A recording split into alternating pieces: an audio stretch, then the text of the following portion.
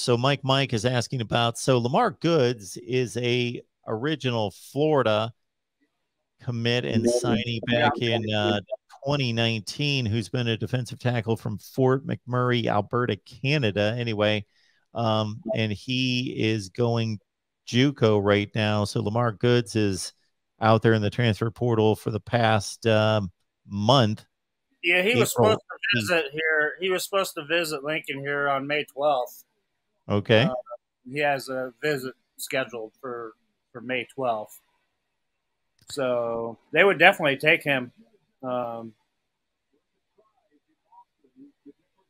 if they if they you know if they needed if they needed to. So then I believe like, like, where we're at right now with that. You know, I mean, they, that, this was basically that there was a guy that they were bringing in too uh, before they got uh, Drew, before they just landed Drew. So um, you think they would they would be over the limit right now, but they can always move guys around too. And, and um, but I still think they would take him if uh, the opportunity was there.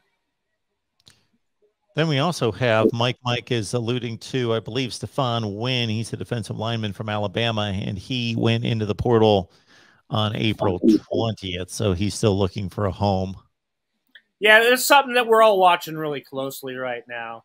Um, he's played he's played quite a bit of football. Well, I mean, you know, for an Alabama guy, you know, he's had a few snaps in there, around 180 snaps or something like that uh, at Alabama. So, um, not so I'm not too familiar with any more, you know, about his his actual game than uh, than what anybody can tell you already. You know, that's not an Alabama guy.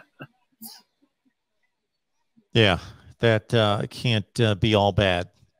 I mean, right now you're you're just adding bodies, and I don't know. Maybe maybe they're done after getting Drew. Um, they they might be done. We don't know right now. I guess um, you kind of you wait and see, and you know something always seems to happen uh, in the summer or or you know right there at the beginning of fall camp time. Uh, you never know. So uh, I, I, know this though that they've been throwing out tons and tons of offers today to 2024 recruits on the defensive side right now. Um, every time I look at Twitter, there's a new somebody new saying, "I just got an offer from Nebraska right now." So um, Coach Chinander and his guys are uh, working it hard uh, right as we speak.